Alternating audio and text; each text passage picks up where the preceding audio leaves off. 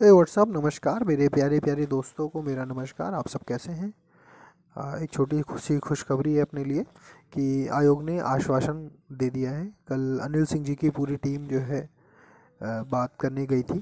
तो फाइनली ये चीज़ आश्वासन दिया है। अभी कोई कंफर्म नहीं है, लेकिन फिर भी अगर बोल दिया तो अच्छी बात है। जो बोला जा रहा है कि पंद्रह जनवरी तक टी जी को शामिल किया जा सकता है या स्टार्ट किया जा सकता है। नोटिफिकेशन आ जाएगा। अच्छा मैटर क्या फंस रहा है? मैटर फंस रहा है जो तदर्थ शिक्षक हैं, जबकि कोर्ट ने भी कह दिया है कि इनके जो बाईस हज़ार पद हैं सेपरेट हैं, अलग हैं, इनको भी इस भर्ती में जोड़ने का प्रयास करें। लेकिन अभी ऐसा लग नहीं रहा कि कोई भी कवायद की जा रही है संदर्भ में। तो हो सकता है कि ये इनके तदर्थ वाले पद ना जोड़े जाएँ। लेकिन फिर भी, क्योंकि अभी चुनावी वर्ष है तो अभी अगर थोड़ी सी मेहनत कर ली जाएगी तो ये भी संभव, अभी कुछ भी संभव है, क्योंकि चुनावी वर्ष है। देख रहे होंगे आप, सब इंस्पेक्टर का, लेखपाल का, अनुदेशक का, विद्युत विभाग में लगातार वैकेंसीज धीमे धीमे करके आती ही जा रही हैं।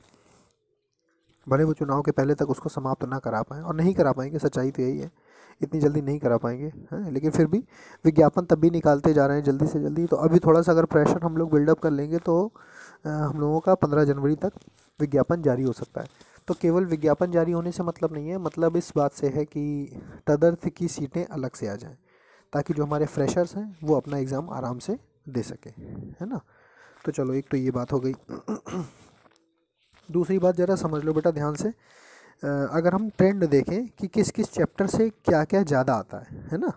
या कहाँ कहाँ से क्वेश्चंस ज़्यादा आते हैं, थोड़ा देख लो ज़रा ध्यान से। देखो biological molecule 59 question embryonic development 189 बड़ी यूनिट है। हमने आपसे कहा ना एम्ब्रियोनिक डेवलपमेंट एक अच्छी यूनिट है, बड़ी यूनिट है, बड़े क्वेश्चन पूछे जाते हैं। एंडोक्राइन अपने आप में 141 क्वेश्चन लेके आ रहा है। देख रहे हो आप? तो एंडोक्राइन भी बहुत अच्छी और बहुत सेफ़ यूनिट मानी जाती है, क्योंकि बहुत ज़्यादा टफ नहीं है। आप इसको कम पढ़ के भी अच्छे मार्क्स इस यूनिट में ला सकते हो। अब बात करते हैं मसल स्केल्टन की। अगर थोड़ा कम भी ध्यान दोगे तो चलेगा, कोई दिक्कत नहीं, ठीक है? फिर आ जाओ देखो ब्लड सर्कुलेशन पे आ जाओ। नीचे देखो इधर, आपको शायद दिख रहा होगा। दैट इज़ ब्लड सर्कुलेशन उस पर ज़रा ध्यान दो। ये देखो 176 endocrine 141 embryonic development 189 animal cell 150 देख रहे हैं आप? ठीक है? और देखो chromosome structure of gene genetic code बच्चे चिल्लाया करते हैं सर जेनेटिक्स जेनेटिक्स अब आप देख लो, खुद लो। ये केवल 56 यहाँ पर है 68 यहाँ पर है। तो कोई बहुत ज़्यादा नहीं है। हाँ लेकिन फिर भी क्रोमोसोम अलग चीज़ है। क्रोमोसोम को आप जेनेटिक्स में नहीं शामिल करोगे, वो सेल में आएगा। ठीक है, लेकिन फिर भी अगर ऐड ऐड कर दोगे तो आप मान सकते हो। एक हम बात बताते हैं। ठीक है? अच्छा देखो ऑर्गेनिक इवोल्यूशन में 133 टोटल अगर हम बात करें, कि ऑर्गेनिक इवोल्यूशन की तो ज़रा ध्यान से देखो। 133 और उसके बाद न्यूट्रिशन और डाइजेशन की अगर हम बात करें तो 142 तो जो बड़ी बड़ी यूनिट हैं उनको कतई ना भूलिए। और ये देखिए brand ambassador that is two two seven ecosystem ecology है food chain food web global warming acid rain एक कम से कम जैसे काजीरंगा, ये दुनिया भर का इस तरह की क्वेश्चन क्वेश्चन पूछे जाते हैं, है? और ये देखिए, ये सबके पापा जी हैं दैट इज़ एनिमल किंगडम ठीक है? एनिमल किंगडम यानी कि पूरी लोअर पूरी लोअर और अपर कॉर्डेट प्रोटोकॉर्डेट वो भी सब आपको अच्छे से आना चाहिए। और लोअर में मतलब प्रोटिस्टा से लेकर के पूरा एक एक चीज़ आर्थ्रोपोडा तक बहुत अच्छे से कंठस्थ होना चाहिए आपको। ठीक है? बात समझ रहे हैं ना? तो देखो, हमने आपको एक पाई चार्ट के थ्रू सारी चीज़ें समझाने का प्रयास किया कि सबसे ज़्यादा महत्व तो आपको एनिमल किंगडम को देना है।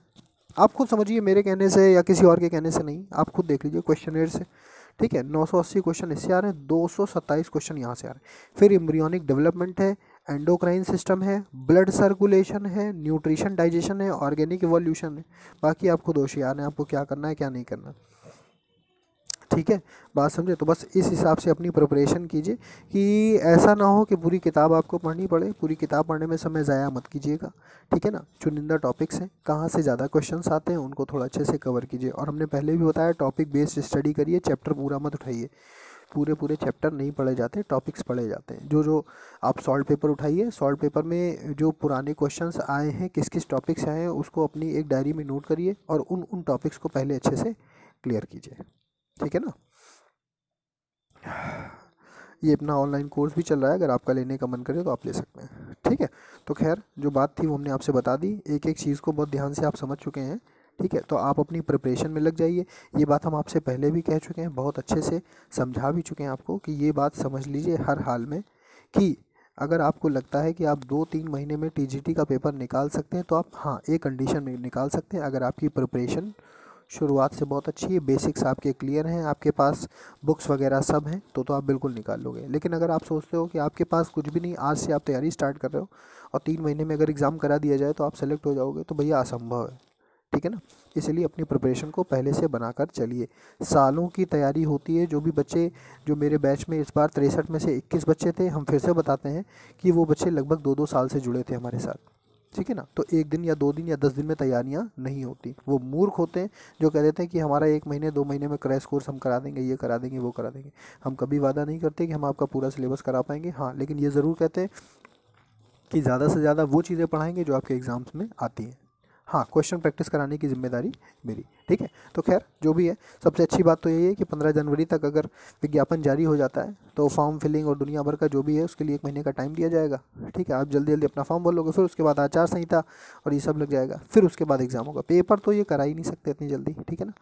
तो पेपर तो बाद ही में होगा इलेक्शन के, लेकिन फिर भी कम से कम अगर वैकेंसी अगर फॉर्म आ जाता है तो एक बर्डन होता है गवर्नमेंट के ऊपर। ये होंगे तो भी, दूसरा भी कोई आएगा तो भी, ठीक है ना? तो भैया बहुत अच्छे से समझते चलिए, पढ़ते चलिए।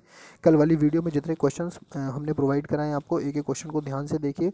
एक क्वेश्चन को लगाने का ये मतलब नहीं होता कि केवल वो क्वेश्चन तैयार हो, उसके सराउंडिंग्स में जितने क्वेश्चन जितने ऑप्शन होते हैं, वो भी सब आपको तैयार होने चाहिए। ठीक है ना?